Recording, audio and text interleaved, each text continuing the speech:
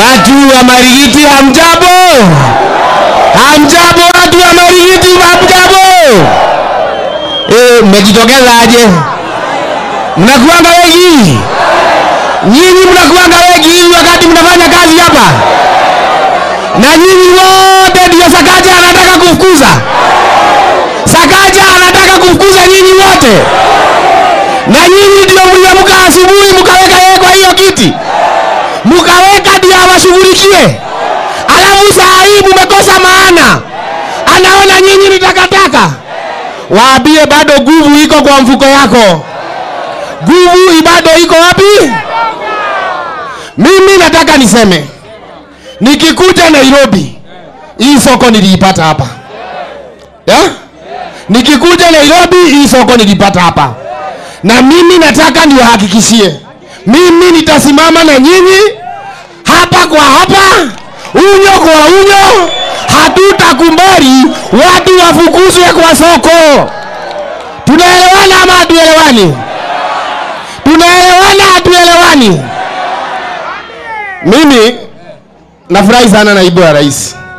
Hawa ndio hustlers wa kabisa, hawa ndio wamama wa soko, hawa ndio vijana wa soko hawa ndio hasra wa pale chini. Wakati tulikuwa tunazunguka hii Nairobi, tuliambia hawa wakitupea kazi tutawaleta juu.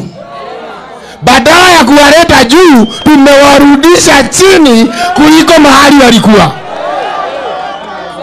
Ile mashida iko na hawa watu siku hizi, mpaka kupata chakula kukula mara tatu inakuwa ni ngumu alafu unasikia yule mtu ameweka hapa City Hall aangalie masilahi yao, anaanza tena kuwatuma ati nje ndio aibe hii kiwanja auze.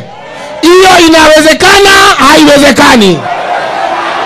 Inawezekana? Haiwezekani. Kwa hivyo mimi nasema tutasimama na nyinyi na tuwabie huyu Sakaja kutoka akalie hii kiti, kazi gani amefanya hii Nairobi? Kazi gani amefanya hii Nairobi isipokuwa kuiba pesa ya wananchi? Ni kitu gani ingine amefanya hii Nairobi? Kama ni barabara zimeharibika zote, kama ni soko zimeharibika zote, kama ni kuongeza license ameongeza mpaka mahali nyinyi hamwezi fikia. Nataka tumpatie notice, tumwambie vile tuliamka mapema tukapigia yeye kura akuwe gavana wa hii Nairobi. 2027 ikifika, tunaamka mapema tumwambie nyumbani ni nyumbani. Haiwezekani ati kazi yetu ni kukuja kusaidia mtu akuje ajitajirishe hapa Nairobi. Akikalia hii kiti hakuwa na kitu, saa hii ameiba, ameiba, ameiba. Sasa vitu zote, hata hapa nafikiria anataka kugrab ndio ajenge nyumba yake, lakini tunamwambia haiwezekani. Nataka pia huyu gavana wetu akumbuke Waititu, yule alikuwa gavana wa Kiambu, Moigai wa joroge na naibu wa rais hapa walizunguka hii Nairobi wakimwombea kura. Kwa hivyo hatuombi, tunasema lazima aheshimu naibu wa rais. Kweli ama sio kweli? Kweli ama sio kweli? Hii serikali yetu ya Nairobi ya hasras hapa, tulimwambia pea mama boga mmoja akuwe CEC, alikataa. Pea kijana moja wa bodaboda akuwe chief officer, akakataa. Mimi nataka 2027 ikifika, kwa sababu mimi najua munatusikiza na sisi tunawasikiza na tutasikiza ground. Candidate akijitokelezea, candidate akifanya nini? Akuje awaambie anataka ku gavana ya Nairobi. Mtapeana ama hamtapeana? Kuna mzee mmoja mlikuwa mnafanya kazi na yeye hapa na alikuwa anafanya kazi kwa hii soko, na huyo mimi na, na, naonanga kama yeye ni baba wangu wa kisiasa. Eh? na ni mwenye anaelewa ile mashida ya nyinyi watu wa soko hapa. Mimi nikiangalia naona huyu mheshimiwa bazenga akikuja awaombe kura. Awaambie anahitaji kura ya gavana. Tufanye nini na akiwasubua bado mimi niko. Akiwasubua bado mimi ni finally nataka niseme. Nasikia wabunge wanaenda kukutana ati ndio waimpishi naibu wa rais. Mimi mimi mimi nawaambia namna hii. Wakati tulikuwa tunatafuta kura tulitafuta kama timu hii maneno ya mbunge yako hapa kwa karungo wadhangwa ya? Huyo mbunge anaitwa kimani Ichung'wa, yeye amefanya ati sasa yeye amekuwa kama mwanamke. Yeye ndiye anajua matusi yote. Yeye ndiyo hana heshima na kiongozi yoyote. Mimi namwambia akicheza akicheza tutaenda kuangalia kama ni mwanaume. Eh? unajua mnaweza kuwa mkiona mtu ako na devu ako na bes amevaa rongi mnafikiria ni mwanaume na labda ni mwanamke. Kwa sababu hiyo matusi sijaisikia ikiwa na mwanaume ile matusi kemani waishongo wako nayo. Sijawahi iona mahali ikiendelea namna hiyo. Na nataka nitume nataka ifike kwa rais. Mimi bwana rais nakuomba. Wakati tulitafuta kura tulienda tukapiga kura ya william ruto na naibu wake rigathi gachagua.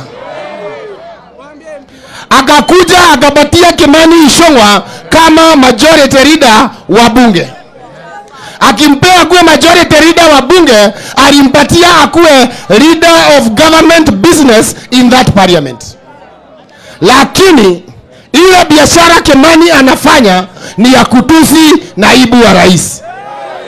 Nataka mimi niulize na niulize rais, tafadhali, huyu Kimani Ichung'wah, ile kazi ulimpea hafanyi hiyo, anafanya ingine, na kwa sababu anatusi naibu wa rais, ukiwa umekaa hapo, tunataka pia wewe rais utokelezee utuambie wewe ndio umepea Kimani ichongwa kazi ya kutusi naibu wa rais,